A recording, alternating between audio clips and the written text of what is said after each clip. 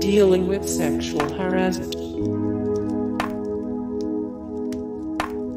How to cook. When your kids grow up, they might not like you. Time management skills. How to handle rejection both personally and professionally. Will have to try really hard to keep meaningful people in your life. Your friend circle will shrink.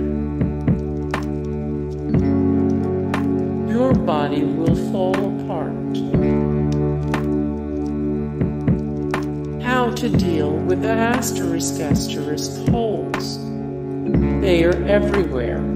Hey guys, thank you so much for support and comments down below and also thank you so much for watching and I look forward to see you in the next video then. Take care.